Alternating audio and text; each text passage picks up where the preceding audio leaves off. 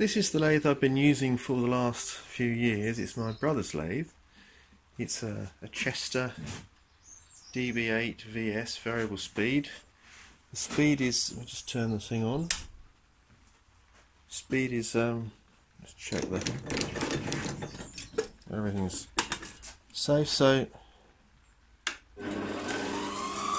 speed is variable infinitely using this um, this knob actually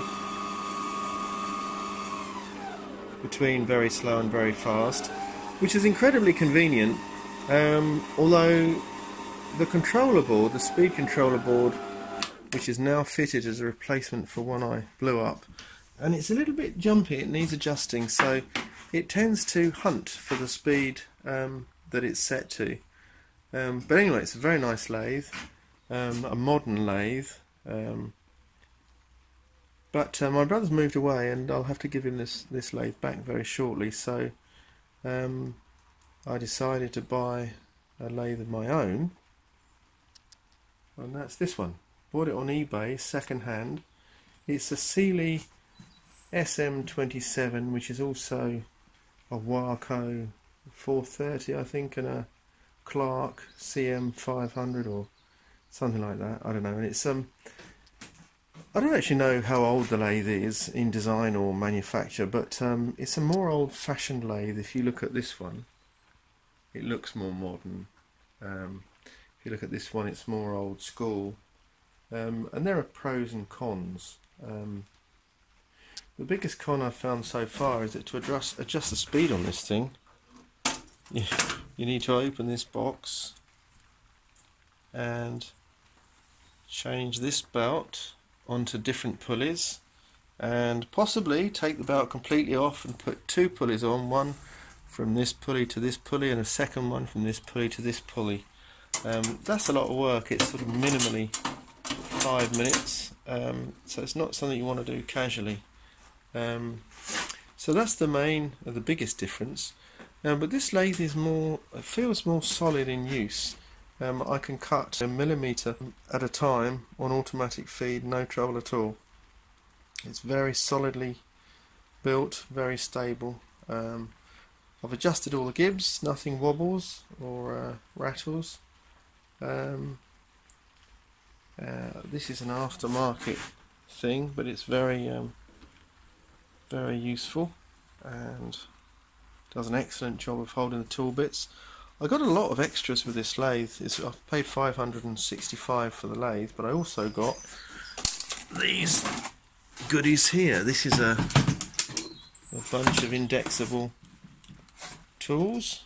One of them's in the lathe, and loads of um, inserts, carbide inserts. So there's that. It also came with this, which is a lot of inserts, and this is a zonking boring bar too big actually for the tool post that I've got. Um, but that's not all. There's also um, a couple of other bits and pieces. Um, there's a, a faceplate here. There's a, a fixed steady. Um, there's a rotary table with a collet chuck and there's a four jaw brand new chuck there.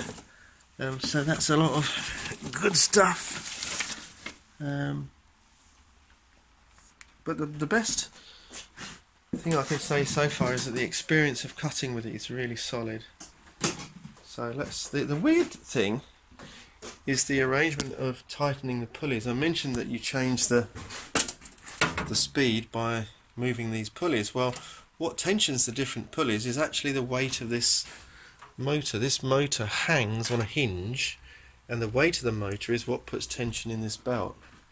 Um, so when you've got the right tension you stop it bucking around by adjusting these two nuts so that the weight of the motor is is allowing is being allowed to tension the um, the belt but the motor can't kick backwards as, as tensions come on and go off the belt so it's a lot more stable if you don't keep these close together with almost no room for movement then the motor bucks around um, in an alarming way. Anyway, let's shut this up. Run the thing. The um, there are two auto feed speeds. There's fast and slow, and this is engage or disengage. So let's engage. See the tail stop.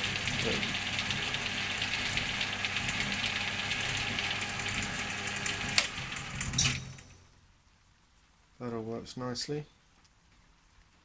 The biggest difference for me is that on the lathe I'm accustomed to using, this big wheel here moves the saddle up and down the bed. Whereas on this lathe, a similar big wheel located here moves the saddle across the slide. That's quite difficult to get used to. There is no similar wheel for controlling left-right motion. That's done with this handle here which would normally be the lead screw for screw cutting. There is a screw cutting facility on this lathe and it's implemented by tinkering with these gear wheels here. In fact there's a set of 13 gear wheels you can uh, acquire. They were missing on this lathe, I've, these are the only wheels I've got, there are four there.